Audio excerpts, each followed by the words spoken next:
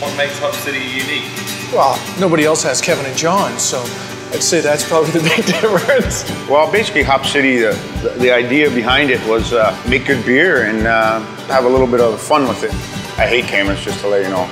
We do everything. We, we, we clean the kegs, we fill the kegs, we clean the tanks. I mean, you name it. We sweep the floor, we throw out the garbage. We're happy to do it as long as the product ends up great. Let me just, I gotta turn something off here a sec. All four of our products were, uh, between myself and John, there, there are recipes, so that's the fun part. Coming up with new recipes, inventing something, makes it exciting to come to work. We don't have to find a bar, the bar is here.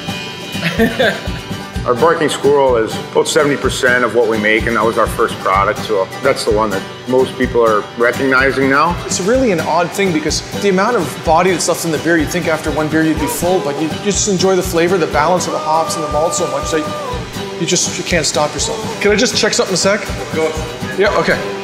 Check the tension. I don't think you'd find another brewery in the world that two guys are doing as much production as we are. So it's good and it's good and bad.